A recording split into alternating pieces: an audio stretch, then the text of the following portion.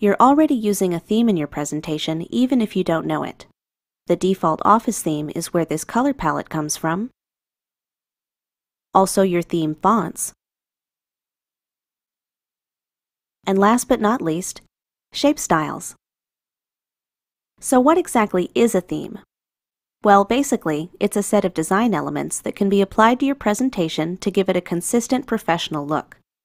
Themes are also extremely easy to change once you've applied one, so you can try different styles and designs anytime you want. Let's take a look at how they work. To get started, go to the Design tab, then mouse over the options in the Themes gallery for a preview. As you can see, the background and the theme elements I've used are changing, including the fonts, the colors, even the arrangement of the slide. You can also click the arrow in the bottom right corner to see all of the themes at once. Let's see. I think this one looks nice and simple. To apply a theme, all you have to do is click the thumbnail, and the change will take effect immediately.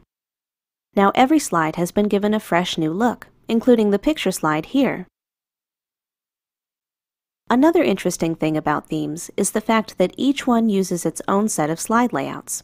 These layouts control the way your content is arranged, so the effect can be pretty dramatic. If we go back to the gallery, for example, and switch to a different theme, you can see how easy it is to completely change the look of your presentation. Why don't we go with this one? You can even try a different version of your current theme using the variants on the right. Just mouse over the options for a preview. I think this feature is really neat because it lets you change your color scheme and fonts without giving up the overall look of the design.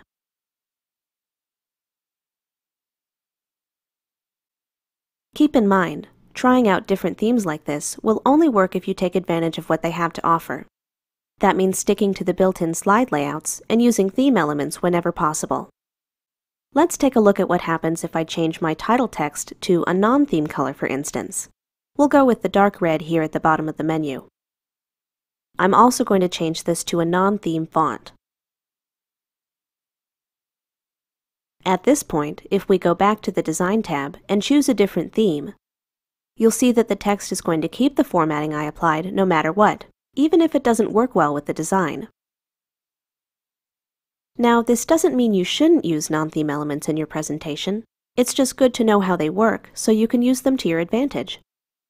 If you don't like the way your changes have turned out, all you have to do is go to the Home tab, click the Reset command, and PowerPoint will reset your current slide to the default.